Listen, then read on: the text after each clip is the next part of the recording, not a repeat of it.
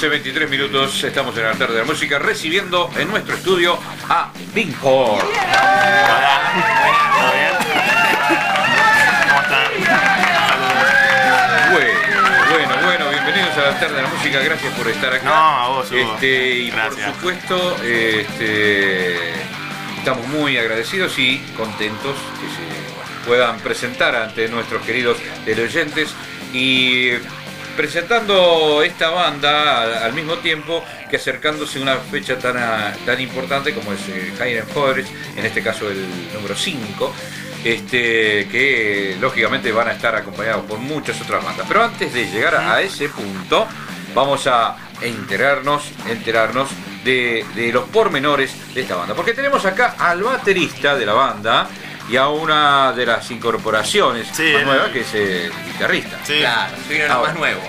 Más- Ahora, salió del horno, salió del horno recién. Está es una, recién banda, es una banda que yo me he estado enterando, muy particular en su for- eh, eh, formándose en sí, porque eh, la banda en sí, los, pri- los, los, digamos, las raíces, los que hicieron la raíz de esta banda, eh, estuvieron prácticamente un año sin que se enterara nadie de lo que estaban haciendo, de lo que estaban haciendo, y luego se conectaron con el baterista, ¿no? Mm. Que en principio estaba como resistiéndote. Ah, sí, sí, es una anécdota bizarra. Sí, siempre me, me preguntan la cuenta. Sí, no, eh, me hablaron por un face así extraño, no, te- no me acuerdo ya el nombre, era un nombre raro, un pibe, Gabriel, no sé, Gabriel XXZ, ponele, cualquier cosa era. Y me preguntaron, estamos armando una banda de folk, eh, nos gustaría saber si puedo tocar este cover, un tema de equilibrio que hacemos ahora, que lo hacemos todas las fechas que tocamos. Y yo escuché ese tema y dije, yo no puedo tocar esto, es muy difícil. Se lo dije a los chicos y, y no sabía que eran ellos, ¿entendés? Claro. Y un, un par de meses después, varios, ya finales de año, ya octubre, por ahí que me probé, me pasaron el EP, ya era Vincor, ya me hablaron con un chat de Vincor. Y yo escuché todo y les dije lo mismo, chicos, yo no puedo tocar esto, es muy difícil. Una semana después me quedaron los temas en la cabeza, ¿viste? Fue como re loco, fue como, che, me acuerdo de esto, ¿qué pasó? Estaba bueno. y les mandé mensaje a, a la página, al chat que tenía, Sí, sí. che, ¿me puedo probar? La verdad que me copa. y bueno, probé y nada, que quedé, por algo estoy acá. Claro, no solamente quedó, sino ahora está eh, poniendo el cuerpo, la cara acá La cara, directamente. La, la fialdad, estamos poniendo la fialdad. Claro, está, está trayendo eh, la, la bandera directamente. Miren Claro, trajimos la banderita, sí, y, y- banderín. y ahora tenemos una nueva incorporación en la banda. Sí, acá el muchacho. ¿Desde, ¿Desde cuándo te has incorporado a la banda? Hola, soy Leonel, el nuevo guitarrista. Eh, Tipo hace mayo, ¿no? poco, sí, mayo, sí, junio. sí. No, pero nuevo posta. Claro, sí, sí. No, flamante. Es- Eh, te- está para venderlo, diríamos, digamos, con poco kilometraje. Sí, sí, es la nueva, Claro. es la nueva temporada de Incor, ponele, porque tuvimos unos quilombos a principio de año que tardamos mucho en arrancar, por eso que recién ahora este año estamos tocando recién ahora, ponele, pero estuvimos ensayando mucho, buscando integrantes, porque nos faltaba violero, se nos fue Lucas Urri, que era el otro violero, Mm. y tardamos en buscarle un reemplazo. No estábamos conformes con los violeros que se querían probar, otros colgaban, típico de músicos que pretenden serlo y jamás lo serán, porque tienes que ser responsable para esto y si no lo sos, si colgás ya con un chat no servís, porque Claro. ni, ni siquiera ni siquiera eso. Y nada, yo a él lo conozco hace un montón, somos amigos del barrio, nos conocemos, tocamos en proyectos. Él toca muy bien y le, le hablé, le tiré el EP, le gustó, sacó los temas, vino, se probó, siguió viniendo, es responsable. Nada, a él te lo puedo decir, le, le gustó, supongo, vendió. si no, no estaría acá. ¿Viste?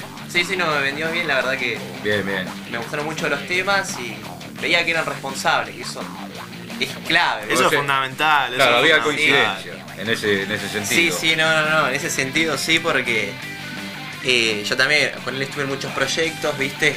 Pero acá fue como que se dieron las circunstancias y tenían los elementos que era eh, un ensamble muy bueno. la verdad que- Sí, sí, fun- funciona, te das cuenta cuando Sí, sí, funciona. Cuando no funciona te das más cuenta. Claro, Claro. lógico. ¿Y Sí. ya, ya venías de experiencias de como guitarrista de folk metal? No, en lo que es folk, no. Pero sí, o sea, en lo que es heavy metal, hard rock, eh, jazz, eh, o sea, yo tengo una formación eh, académica, digamos, clásica y yacera. O sea, tengo Ah, mira. Sí, sí, sí. Ah, qué lindo. Así que. Sí, está completito, es variado, versátil. es- eso es lo que buscamos también, ¿no? No un metalero que se quede en, el, en Orcas, en B8 en- y que diga, ah, toco folk ahora, qué bueno, está bueno.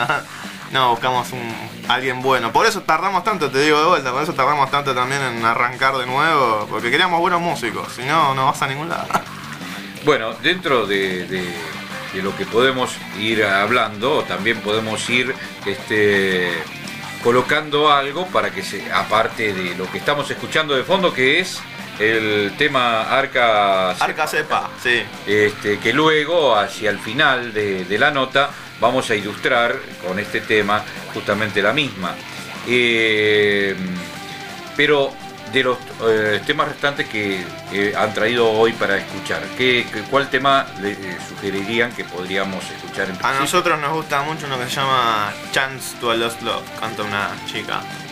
Es- está Es muy que, bueno. aproximadamente tenés idea de cuál es el título, cómo, cómo sería su traducción o algo.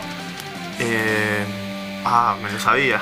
Se lo sabía, pero mientras llega esa traducción, este, vamos a escuchar el tema sin.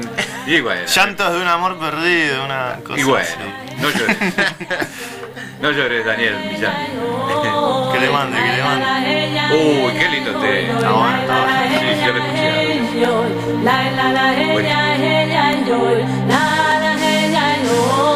Hoy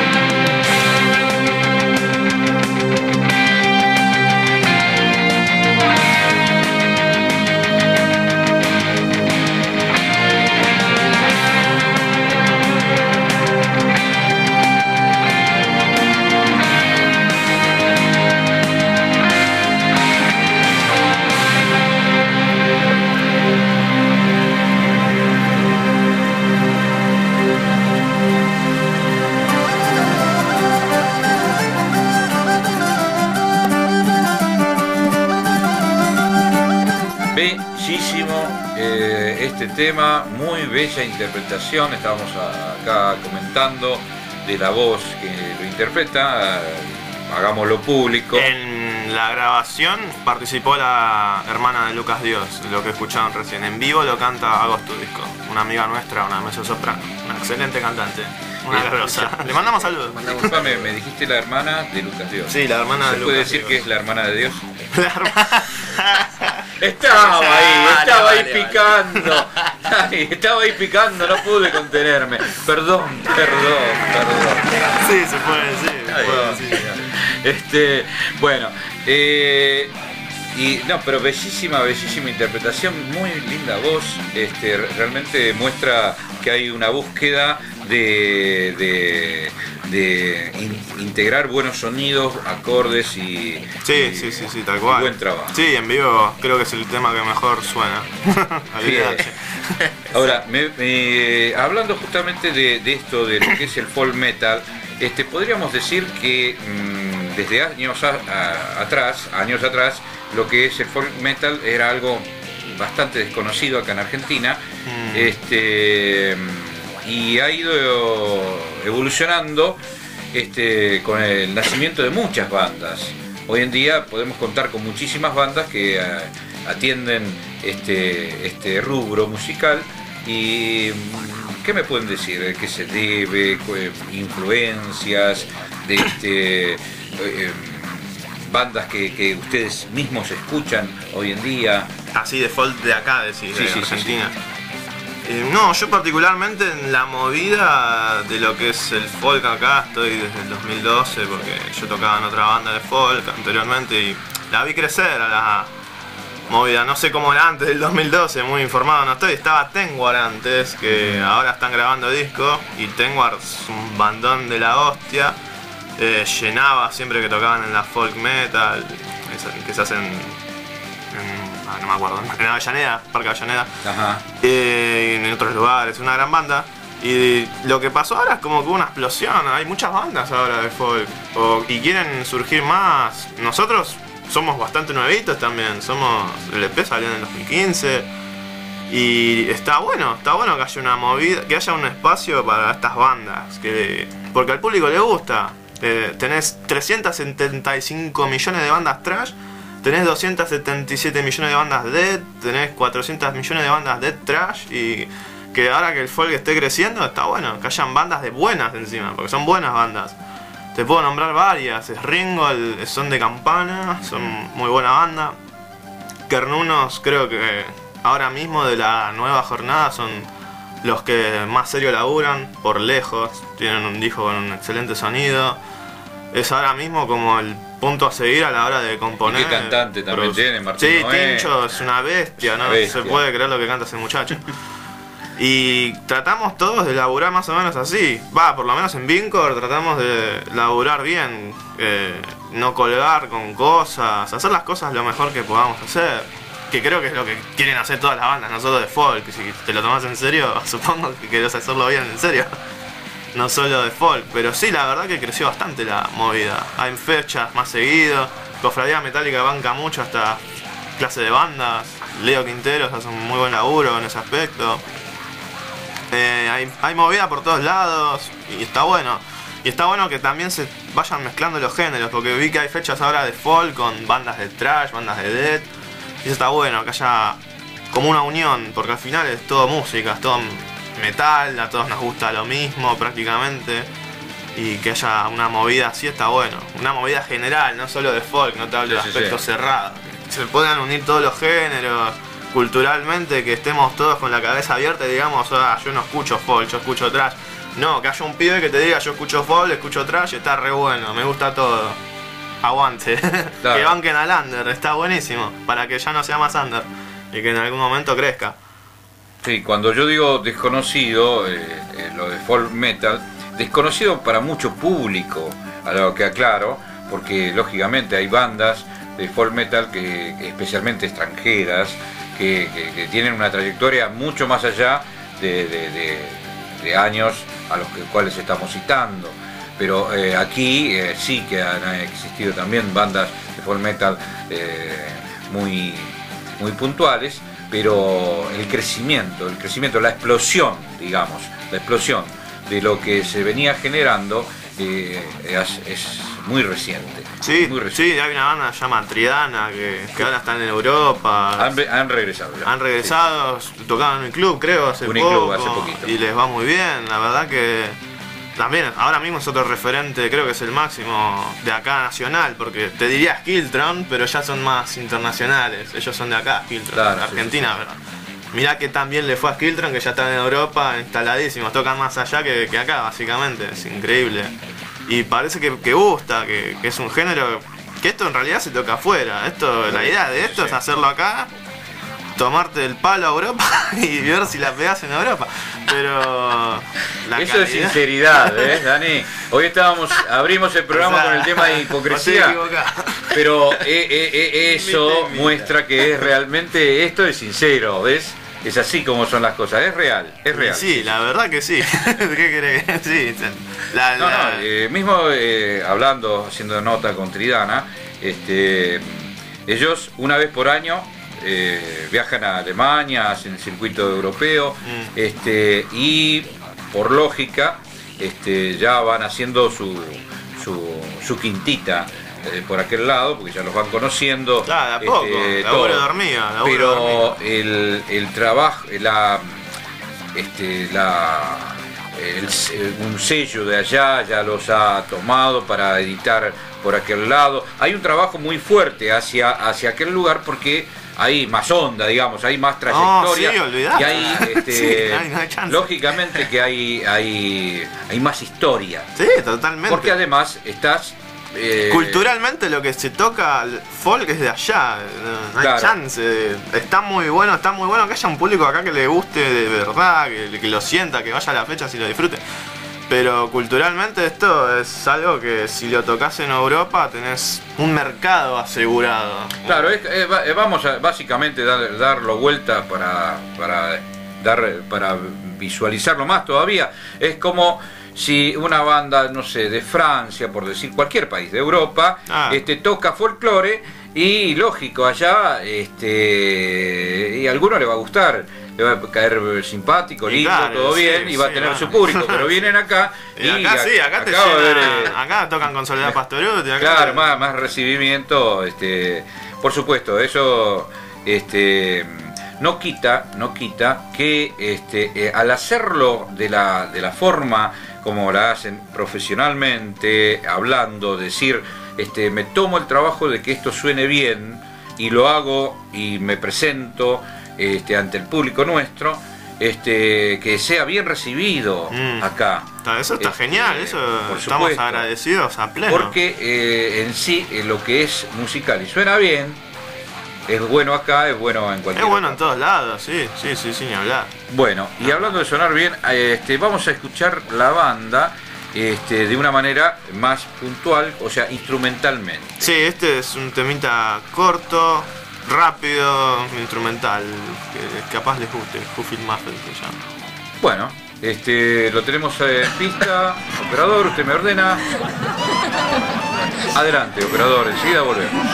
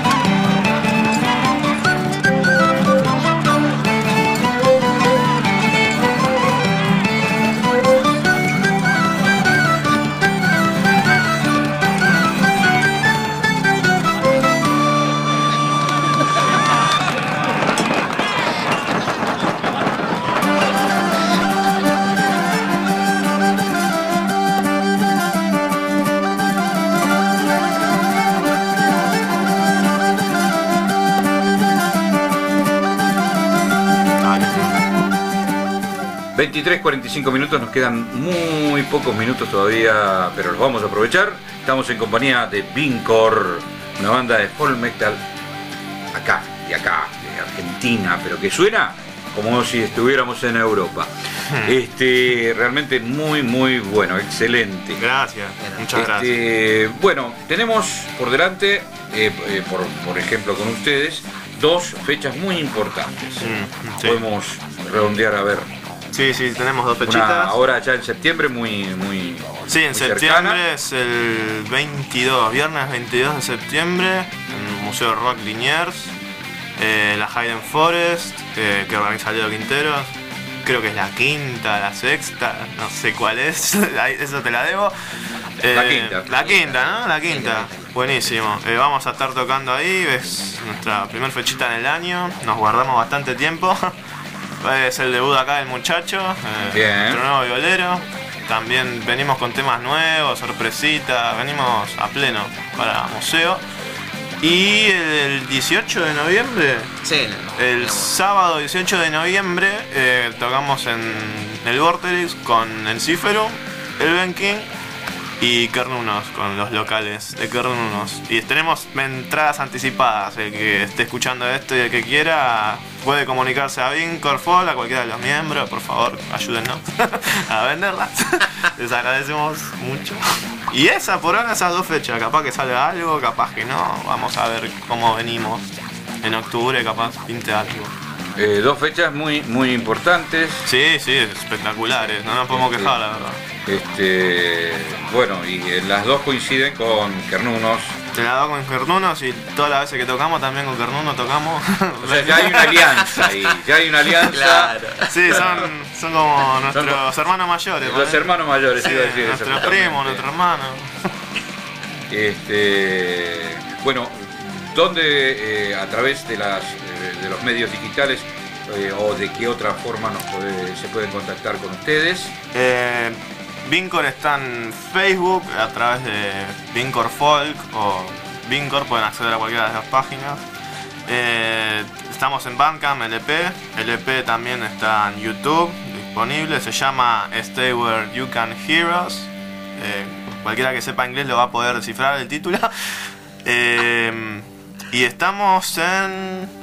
Creo que no estamos en ningún otro lado por ahora más. Y por ahora estamos ahí. Ya vamos a estar en otros lados próximamente. Spotify. Estamos buscando espacio por ahí ya próximamente. Próximamente, Por- muy próximamente. ya vamos a estar con otras cositas. Y a futuro, este, la grabación de un disco. Sí, el año que viene tenemos pensado arrancar la grabación. No sé si sacarlo el año que viene, es muy apresurado, pero en principio gra- grabarlo. Ya tenemos todo bastante finiquitadito el asunto. Creería, va. ¿Algún saludo final para Eh, A los chicos, si están escuchando, el domingo ensayamos, así que. eh, pónganse las pilas, quiere decir No, eso? no cuelguen, lleguen temprano, sobre todo el cantante que se la pasa durmiendo. Es un colgado, igual lo queremos. Por algo sigue estando. Y no, eh, yo no sé si quería mandar un saludo. No, no, no. La verdad que. A nadie. A nadie, la verdad nadie. que me pongo la gorra. Él nos odia, se va Claro, a ir. claro. Se va a ir y vamos a tener que buscar otro. Bueno, eh, yo muy agradecido a ustedes por estar acá en este espacio, que es el espacio para todas las bandas que deseen hacerlo. Este, y acompañaremos eh, en esta, por lo menos más seguro, en el Hayden Forest. eh, vamos a estar ahí presentes para eh, acompañarlos como público Buenísimo, y de bueno, una. apoyando justamente todas las bandas y en especial a nuestro, en nuestro corazoncito está con la gente de Cofradía Metálica, ustedes lo saben. Así que, bueno, continuamos. Saludos a Sandra Luca, a Leonardo Quinteros y a todos. Ah, una- un saludo a Leo, que es el- nuestro manager, un fenómeno, hace las cosas bastante bien. Lo Y- queremos, lo queremos, Leo. claro. Te queremos, Leo. Y nos despedimos con Arca Cepa. Este, así que no se muevan todavía porque después del video vamos a cerrar con otro que quiero homenajear a la radio por sus, creo que son 96 años de eh, su primera transmisión, eh, con un video que, bueno, lo vamos a dejar ahí. Este, bueno, enseguida volvemos. Adelante, operador.